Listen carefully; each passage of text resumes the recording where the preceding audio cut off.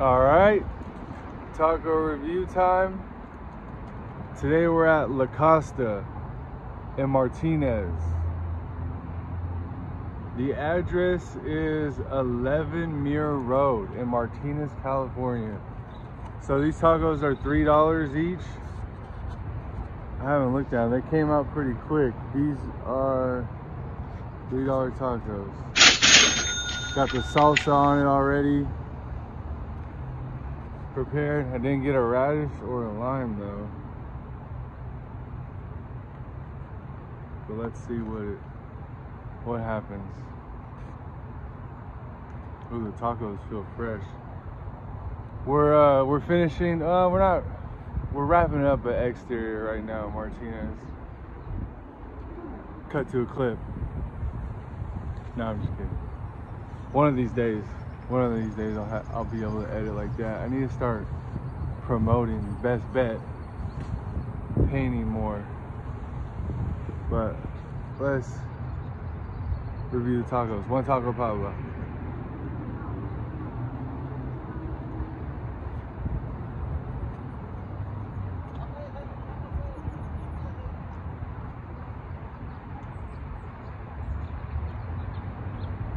Tastes like toga. These are good.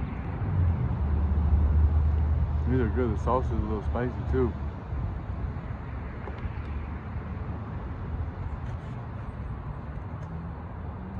Wow!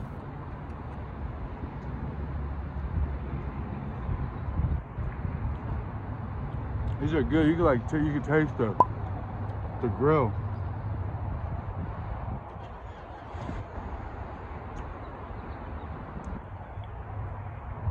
Can't tell. It's.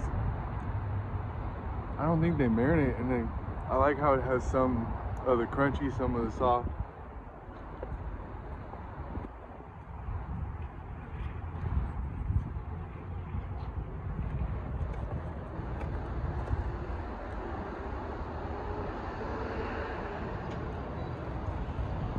All right. So it's one Taco Pablo. We're at La Costa. I'm gonna give these a.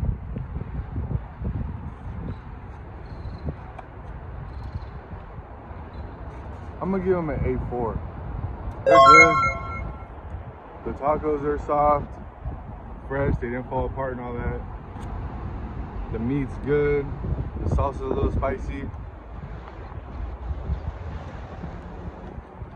Well, I'm starting. I gotta be tougher on my scores.